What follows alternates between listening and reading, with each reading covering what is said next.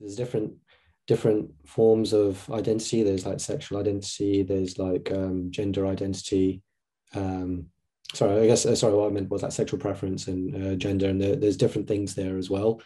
And um, yeah, I guess um, if I was being honest with myself, I would be treating um, people slightly differently if uh, they identified as as a woman versus identifying as a man um, or especially if they had transitioned as well, and I'd and I'd and I'd known that. Um, but I don't think I'd be I'd, I'd be treating them in um, a negative way. Um, if anything, I'd be probably even more supportive of them um, in in such a way. So I think it can, it's not necessarily that treating everyone the same has to be either you're treating someone positive or negative. It could be that you're treating everyone positive, but you're treating some people even more positively than, than others, right?